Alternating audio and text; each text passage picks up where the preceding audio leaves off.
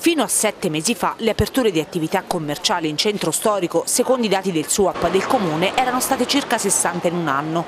In questi mesi altre attività hanno aperto, altre hanno dovuto chiudere invece i battenti.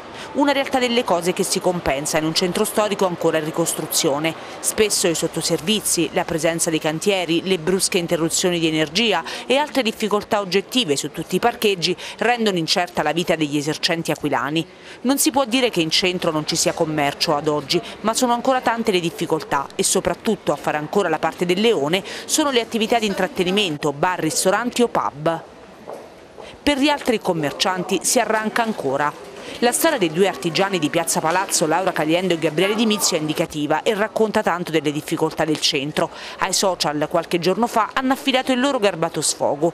La loro sperimentazione in Piazza Palazzo, una delle zone che sta diventando più attrattive, è durata un anno e mezzo, lavorando anche di domenica. Hanno deciso però di tornare oggi nel loro laboratorio di Scoppito. In centro, forse tra 5-8 anni ci torneremo, scrivono.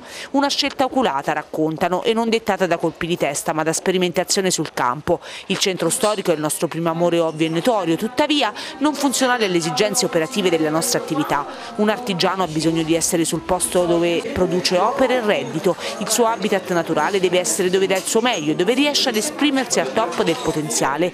I due commercianti parlano di un centro in evoluzione e sviluppo, ma anche loro convengono come tanti sul fatto che ad oggi il centro storico e ancora per qualche anno sarà funzionale solo per le attività di intrattenimento e servizi, per avventori occasionali durante le belle giornate e gli eventi che pure ci sono e di qualità. Il problema dei parcheggi poi resta un problema enorme. Della stessa opinione è anche Roberto Grillo, presidente dell'associazione L'Aquila Centro Storico, che raccoglie attività produttive, residenti e liberi professionisti. Per Grillo il discorso è che si è creduto di poter far ripartire il centro attraverso i negozi, già con la vecchia amministrazione, un discorso anche giusto. Il problema d'oggi è che le persone che visitano il centro sono insufficienti per permettere al commerciante di sopravvivere, ma non solo per i numeri, anche per la mancanza di attitudine all'acquisto, spiega. Sulla stessa lunghezza d'onda il direttore regionale di Confcommercio Celso Cioni. Per lui mancano gli attrattori pubblici, gli uffici. Senza gli uffici, senza le scuole, senza i parcheggi, senza tutti questi pezzi del puzzle, il centro storico non potrà funzionare e non si potrà tornare ai numeri del presisma, 30.000 persone che durante la settimana circolavano per il centro.